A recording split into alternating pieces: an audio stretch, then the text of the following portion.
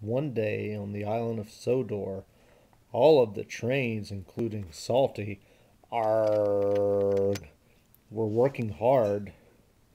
And then a stranger showed up on the island of Sodor, and his name was Jigger Johnson.